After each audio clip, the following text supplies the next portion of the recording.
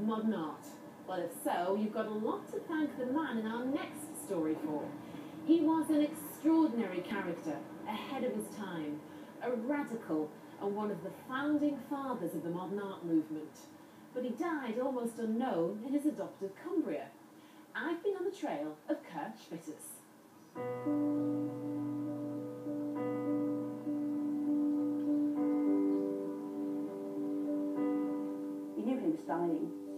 Time in Ambleside really represents a final flourish of artistic energy. He was such an amazing, restless figure, full of brilliant energy and ambition and ideas.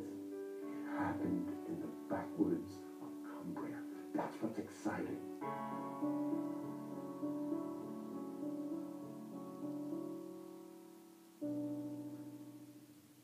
The story of the artist Kurt Schwitters is a fascinating one. It's a story which is sad, but it's funny and it's poignant. It's a story which crosses Europe during the Second World War. And while it's a story about the past, it's also a story about now because Schwitters inspired some of our best known living artists. Elterwater in the Lake District might seem an unlikely place for the father of modern art to work and live. So Ian, what is the significance of this site on a hill in Cumbria? Um, it's called the Cylinders Estate. It's a small farm, and which used to be attached to the gunpowder works. Uh, but in 1946, a very, very famous artist came here, a German artist. Ian Hunter has dedicated the last 20 years of his life to spreading the word about the colourful character and artist Kurt Schwitters. 1947, you know, rationing, uh, it's, you know, whatever, and he stands up in the pub table and he starts singing one of his great experimental songs, yakety, yakety, yakety, yakety. Course, the local people in the pub just look at him, but they chuck him pennies, and he gathers up the pennies, you say, you daft German bugger. Go on, sing us that song again. So in a sense, they did like him and they did embrace him, even though they didn't understand it. They knew he was somebody struggling for his livelihood, and they respected that. Schwitters was born in Hanover in Germany. The Nazis didn't understand his unusual modern way of making art. They labelled him a degenerate and a Jewish sympathiser. He fled to Norway and then on to Scotland. But it was Cumbria that he chose to make his home after the war.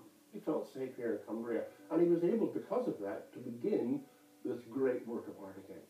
Shall we go and take a look? Let's go and take a look, okay? So Ian, what exactly was he doing in here? Well, this is the famous Merz barn, uh, where he came in 1947. It's in this cold slate barn that Schwitters was looking to recreate his most important work, the Merz barn, a piece of installation art he first started at his home in Germany. So his dream was to begin again, mm-hmm. because he knew he couldn't go back to Germany.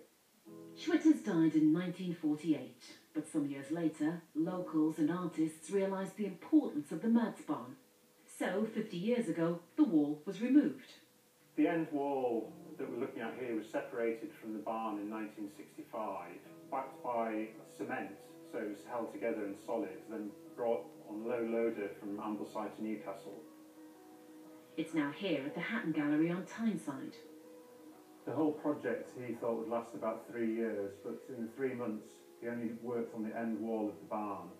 This central section uh, is the most finished part, where he used found objects like this mirror, picture frames, various bits and bobs he found lying around the Cylinders estate. The Merz wall is being analysed and restored to unlock some of the secrets to how it was made.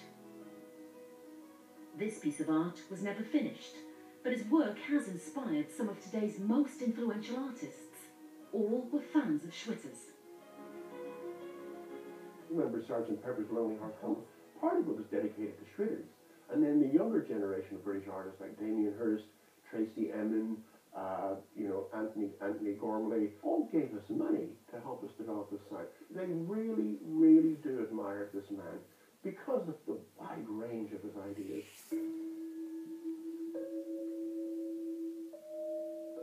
In autumn, there's an annual pilgrimage of Schwitters fans to the Lake District. The names of all artists persecuted by the Nazis are remembered on the back of the Merz barn wall. In his adopted Cumbria, Schwitters was never as famous as his modern day successors. But if you know where to look in Ambleside, there's still the odd clue to where he used to hang out. 93 year old Joe met the artist at Ambleside bus station. He knew he was going to bump into me and he was much bigger than I was. So he grabbed hold of me there and lifted me up. And I was still thinking about where the bus is. And as she lowered down, he laughed at me. So of course he couldn't do anything but laugh back. And that was how I met Kurt Schwitters. He looked at me and he said, have you got anything to eat? Now it so happened I had got half a scone.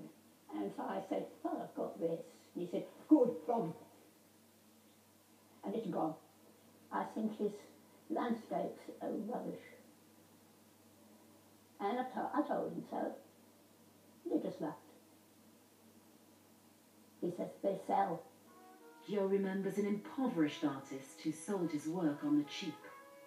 Saturday morning they started off at two and sixpence. And he would give them away for threepence by Sunday night. Um, he wasn't very worldly wise in that way. But Kurt didn't just confine himself to paintings made of porridge and old bus tickets. This is Schwitters, the poet. One of the most bizarre things I have ever heard. It's possibly his most famous work, Ursonate, and is described as an epic sound poem. But when it was performed back in 1948, the BBC were due to record it. But the engineers walked out in disgust halfway through.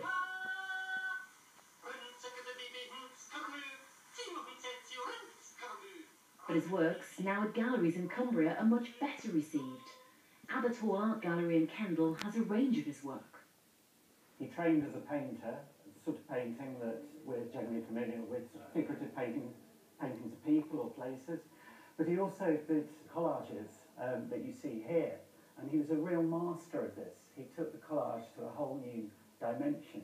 And from something very progressive to something much more traditional in a portrait. Well, uh, yes, absolutely. You might uh, think as a first-time viewer that he sort of started with the traditional things and then he went on to these very avant-garde um, type works. But in fact, he was doing them alongside each other throughout his career. This one, for instance, is painted on linoleum that he was tearing up from the floor. Um, other portraits and landscapes are painted on tea chests, bits of hessian, whatever materials he could get that were lying around. Or he'd use the oil from sardine tins to, to, to create the oil paint that he would use for these paintings. So, could this be the moment Schwitters reaches a wider audience? At the Armitt Museum in Ambleside, they're busy acquiring five new works. Then you never know what you might find on the back as well. we have actually found newspaper collages on the back of some of the paintings. So, um, yeah, very exciting. It is amazing um, in a county where there are so many artists um, that such a really great one, such a towering figure, was largely ignored.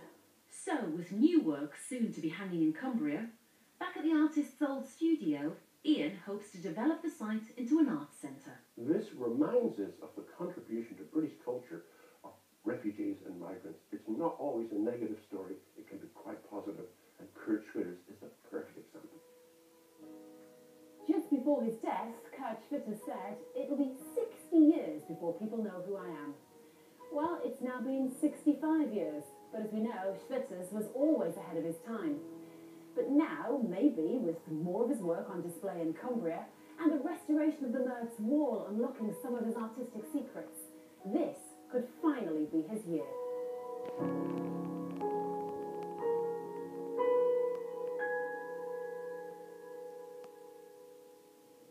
Well, don't think